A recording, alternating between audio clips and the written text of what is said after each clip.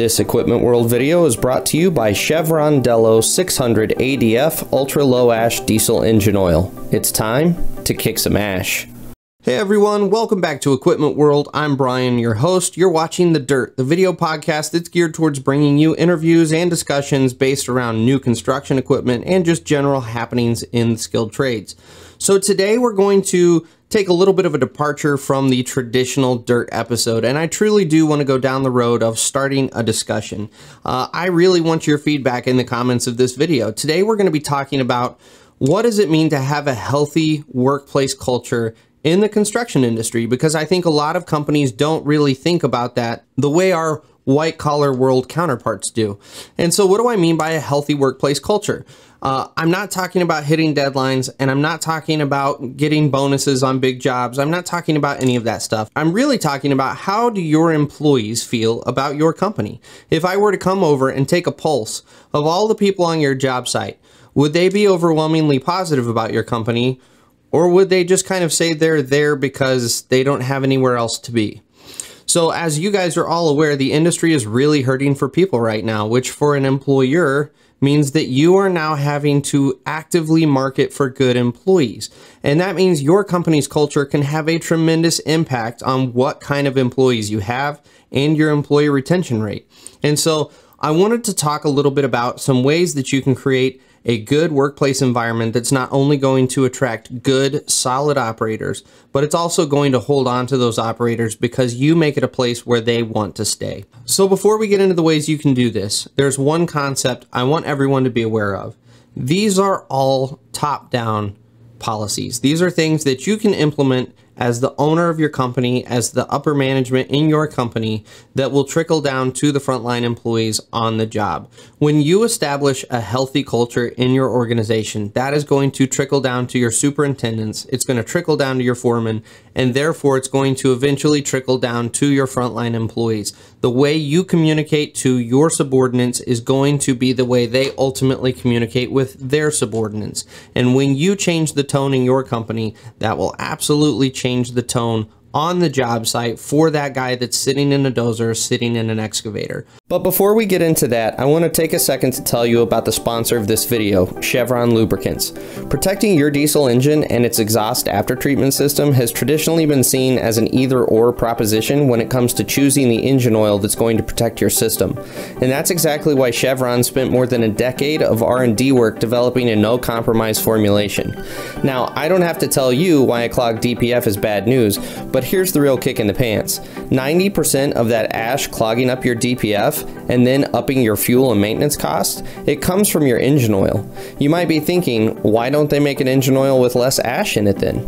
You'll be happy to learn that Chevron agrees with you. They've developed a new ultra low ash diesel engine oil that is specifically designed to combat DPF ash clogging. Delo 600 ADF with OmniMax technology cuts sulfate ash by 60%, radically reducing the rate of DPF clogging and extending the DPF service life by two and a half times. Before you had to choose between protecting your engine or your after treatment system. Now you don't. Delo 600 ADF with OmniMax technology. It's time to kick some ash.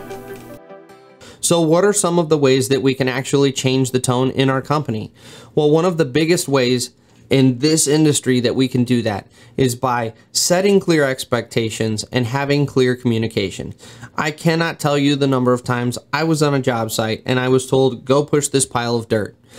I had no idea why I was pushing that pile of dirt, and so I would start pushing a pile of dirt in the way I thought was best, only to get yelled at by the foreman because, unbeknownst to me, I was doing it in a way that was going to interfere with the next step. Had he just effectively communicated, I need you to push this pile of dirt because I would have had a bigger understanding and a better understanding of the full picture of what needed to happen. And then I would have been able to use that information to complete the job in a way that would have not only saved time, but it would have stopped me from getting yelled at. Effectively, that would have boosted my morale significantly because who likes spending the day getting yelled at? Unfortunately, as we all know, that's part of the culture of our industry, and it's one that I personally feel really needs to change because it's not an effective way of communicating.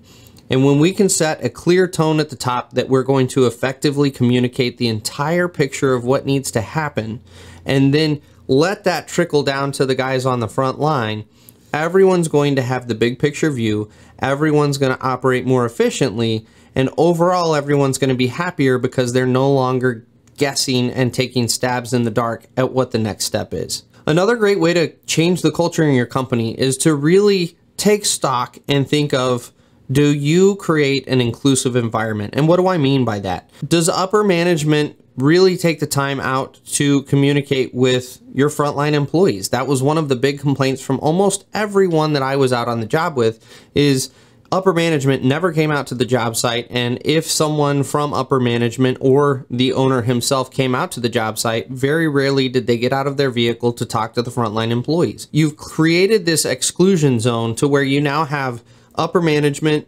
ownership and you have your employees and there's a very clear boundary and there's a very clear line it may not be what you intended but it's there and your frontline employees pick up on that again going back to overall morale if your frontline employees don't feel valued, they don't feel included, you're not going to have good production out of those employees. They are there at the end of the day to collect a paycheck and they don't care anything beyond that because you haven't given them any reason to care beyond that. So learning to include everyone, make it a team effort. It's not just the peons working for upper management. It's everyone working together for a common goal is going to get your employees more invested in your projects. It's going to give them a personal drive to get the project done efficiently and quickly, as opposed to just doing what's required for their paycheck at the end of the day. The next suggestion I have for really improving your workplace and helping the morale overall in your company is giving positive feedback. Again, in this industry, it is so uncommon to get positive feedback. I've talked about it multiple times on my personal channel that one of the ways that you know you're doing a good job that day is if you don't get yelled at.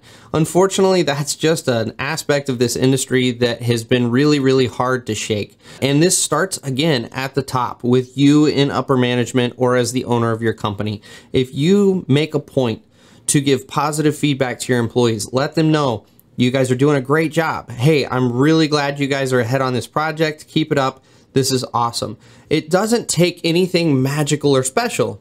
It just takes a quick pat on the back. And that can take an employee who is fed up, who is done, who just is working for the paycheck, and it can start to bring them back into your organization and feel like a member of the team. And that's where you're going to start seeing increases in your retention rate with your operators. And we all know it is far more expensive to bring someone into the company, retrain them, process through all of that intake paperwork than it is to just hold on to an existing employee.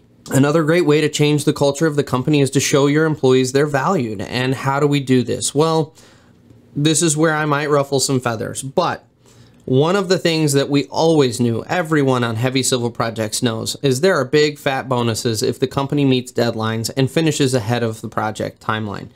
Now, I haven't worked at a single company where any of those bonuses have translated down and trickled down to me as an operator.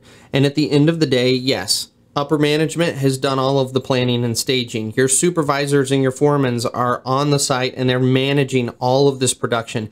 Absolutely, they should share in the overall completion of that project. But at the end of the day, it's the operators running the machines that really determine how quickly and how efficiently you're going to get that project done. And for those employees to not ever see any of the benefit, I can tell you right now, I never felt valued at one of the larger companies I worked for because I never got to see any of that reward. I got to get yelled at when I wasn't working hard enough or fast enough, but I never got to see the carrot on the back end of the job being completed. That's a tremendous way if you really want to invest in your employees and invest in your company. That is a phenomenal way to bring those employees on board and make them feel like one of a team as a collective, you guys are working towards this project completion. And as a collective, you will all share in the rewards of that. And I'm not saying that, you know, supervisors and superintendents should should get the same bonus that your dozer operator should not by any means but to just have some appreciation shown to the operator that's sitting in the seat that has given up his home life so that he can come out there and run the machine, that goes a long way in roping that employee back into the company and really making him feel valued and making him want to strive to do better. So, like I said, I want this to be a discussion. This is not me just sharing my ideas with the world and and you guys can just take them. It, I honestly want this to be a discussion in the comments where, you know, feel free to share what you're doing in your company and some of the things that have been effective at changing just the overall culture of your company. Feel free to share things that you've done that have maybe had a negative impact that you thought would have a positive impact. I really want this space here in the comments of these videos to be a discussion board where business owners can come together and start to have a discussion about changing the culture overall in this industry. Because let's be honest, this industry is in need of a culture overhaul. It has been for a long time. So I appreciate you guys following along with this one. I know we didn't do anything fancy with interviews or anything like that, but like I say in my introduction, part of what you get is discussion, and I want this to be a discussion. So that being said, thanks for watching, and we'll catch you on the next episode of The Dirt.